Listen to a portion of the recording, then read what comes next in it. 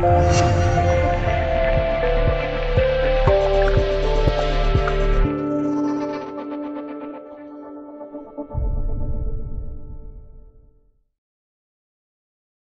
五幺型轻护舰是我国于近些年发展建造的一级舰海作战定位型护卫舰，自首舰于二零一二年下水，二零一三年服役以来，在短短的几年间，已经确认的建造服役数量也已超过五十艘，其建造规模之大，速度之快，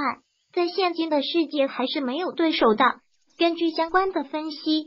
零五六护卫舰很显然是为我国近海防御作战而准备的。就整体性能而言，零五六级护卫舰整体反舰能力、防空能力、远洋巡航作战能力很难和我海军零五四系列护卫舰相比。但是，作为我国已经列装使用多年的零三七型导弹艇的继任者，零五六的诞生也代表着中国海军总体实力的崛起。零五六级护卫舰满载排水量在一千多吨。搭配四枚鹰击系列反舰导弹和海红七十防空导弹系统，有直升机起降平台大无机库。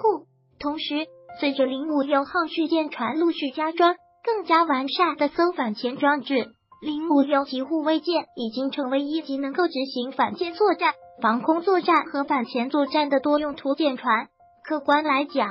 和现今世界的一些类似多类轻护舰相比。甚至和出口型零五六护卫舰相比，我军自用型零五六护卫舰的整体配置并不算高端，机器没有俄罗斯暴徒级导弹艇那样的搭载使用远程对地巡航导弹的能力，也没有安装出口型零五六配备的更加高端的相控阵体制雷达系统。但是，在中国海军战斗序列里，零五六级舰艇的配置已经相当不错，已经能用够用。任何一个国家海军舰艇的发展，必然是和其海军装备体系以及海军战略分不开的。一级装备的整体系统配置也必然有自身的定位。而零五六级护卫舰现今看似较为低端的配置，实则是我海军对其使用定位的限制。